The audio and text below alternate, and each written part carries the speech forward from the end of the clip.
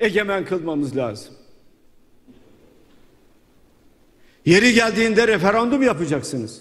Yeri geldiğinde seçim yapacaksınız. Yeri geldiğinde insanların düşüncelerini alacaksınız. Yeri geldiğinde sendikaların, sivil toplum örgütlerinin, meslek kuruluşlarının görüşlerini alacaksınız. Ve devlet yönetiminde asıl olan halkın çıkarlarıdır. Devleti hızla büyüteceksiniz. İtibarlı hale getireceksiniz. Vatandaşın cebi para görecek. Vatandaş huzur içinde, refah içinde yaşayacak.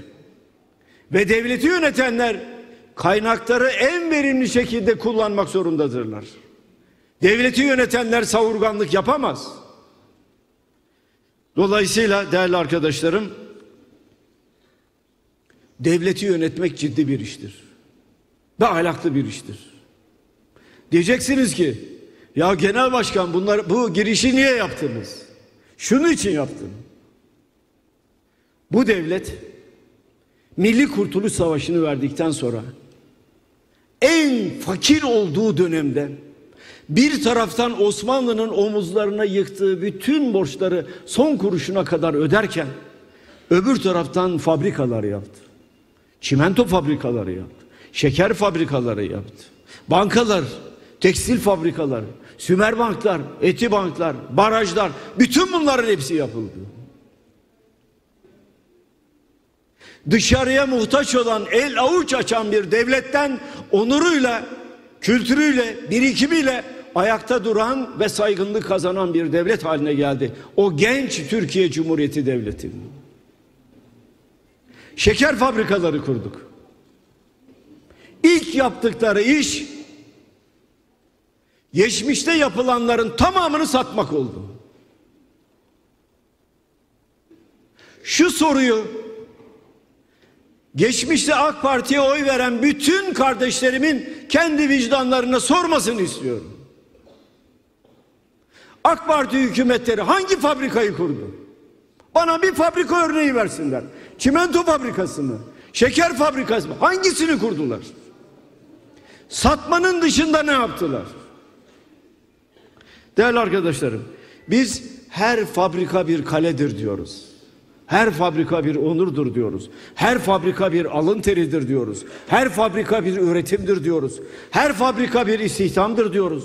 Her fabrika Türkiye'nin itibarına katkıdır diyoruz. Oturdular.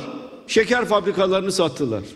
Ve 24 yıl sonra Türkiye Cumhuriyeti devleti yurt dışından şeker ithal etmek zorunda kaldı. Saman ithal ediyorduk. Et ithal ediyorduk. Mercimek, buğday ne varsa en sonunda şekerde ithal etmek durumunda kaldık. Şimdi her vatandaşımın kendi vicdanına sormasını istiyorum. Ne oldu da koskoca Türkiye Cumhuriyeti devleti dışarıdan şeker ithal etmek zorunda kaldı? Ne oldu? Buna devletin sağlıklı yönetimi diyebilir misiniz? Devlet iyi yönetiliyor diyebilir misiniz? her vatandaşımın vicdanına sorması lazım. Vicdanında sorgulaması lazım bu olayı. Bakın daha 2015 2015 yılında Konya'daki mitingde söylüyorum. Hiçbir şeker fabrikasını kapatmayacağız. Kendi şekerimizi kendimiz üreteceğiz. Kendi çiftçimizin gücüne, alın terine güveneceğiz. Hiç kimse endişe etmesin diyoruz. 2015. Onlar o dönemde fabrikaları nasıl satarız arayışı içindeler. 2018 grup konuşmasında bu kürsüde kamyoncusu, besicisi, çiftçisi kazanıyor. Fabrikada işçiler çalışıyor. Bu üretimin kaybedeni yok. Herkesin kazandığı ortama siz dinamit koyuyorsunuz. Özelleştireceğim diyorsunuz. Büyük bir kısmı kapanacak. Kapanmayacak diyorlar. Böyle denilen çok sayıda fabrikanın bir süre sonra nasıl kapatıldığını gördük diyoruz. Çorum mitinginde 2018 kime satacaksın diyorum. O yoksulluk içinde şeker fabrikaları kurduk. Kime niye satacaksın? Şeker fabrikaları üretiminde Türkiye Cumhuriyeti dünya beşincisi. Evet dünya beşincisi. Bunu hazmedemiyorlar. Yani Batılılar bunu hazmedemiyorlar. Acaba biz nasıl olur da beşincilikten Türkiye'nin ayağını kaydırırız, şekeri bitiririz, Ondan sonra biz onlara şeker satarız diyorlar. Onların düşündükleri oldu. Fabrikaları kapattık. Elimize avucumuzu açtık. Tonlarca şekeri getirdik. Kim kazandı? Kim kazandı? Türk Şeker'in 10 fabrikasını kaça özelleştirdi? 680 milyon dolar. Bugünün parasıyla 11 milyar lira.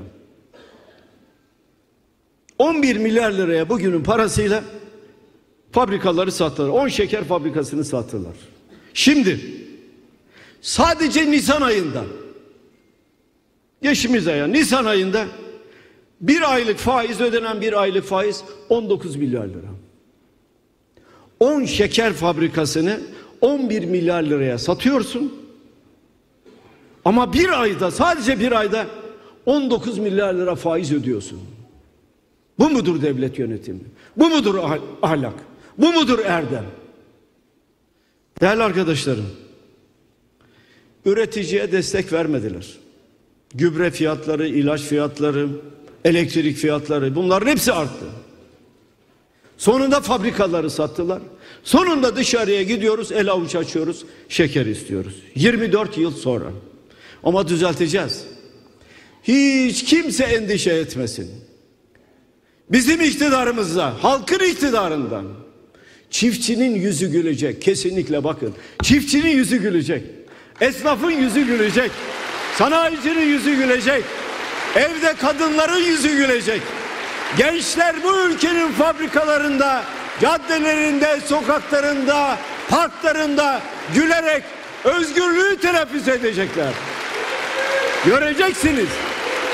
Türkiye'yi ayağa kaldıracağız göreceksiniz. Huzuru getireceğiz göreceksiniz.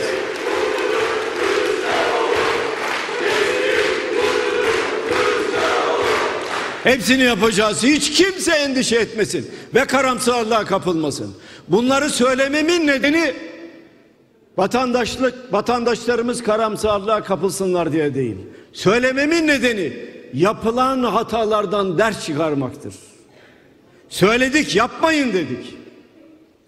Yaptılar ve bugünkü ağır tabloyla karşı karşıya kaldık. 11 fabrikayı satıyor, 10 fabrikayı satıyorsun 11 milyar liraya. Bir ayda faiz ödüyorsun 19 milyar lira.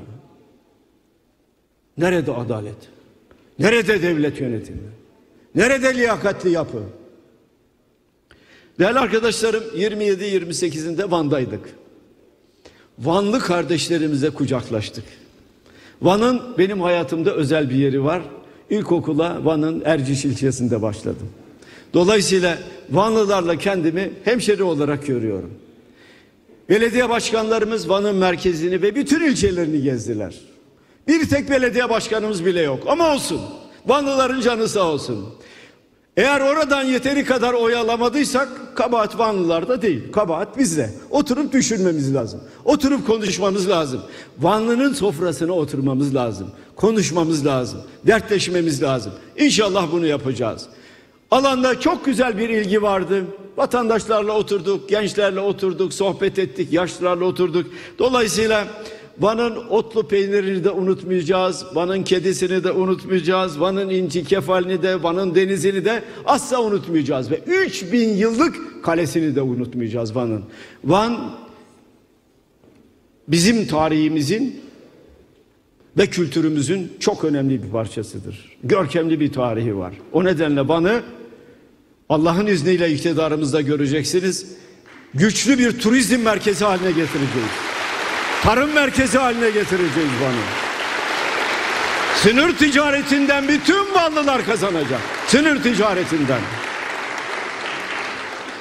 Söyledim Vanlılara, Van'da huzur içinde yaşamak istiyorsanız, Van'ın gelişmesini, büyümesini istiyorsanız bize katılın dedim. Onlara da çağrı yaptım. Bize katılın. Dolayısıyla biz Van'la da Vanlı'yla da kucaklaşmak zorundadır. Zorundayız. Kayyumdan şikayet ediyorlardı. Evet gittiğimiz her yerde bundan şikayet ediyorlardı. Yine bandı kardeşlerime seslendim. Seçimle ge gelen seçimle gitsin diyorsanız kayyum uygulamasından şikayet ediyorca, ediyorsanız bize katılacaksınız bize. Çözeceğiz bunların tamamını. Çözeceğiz.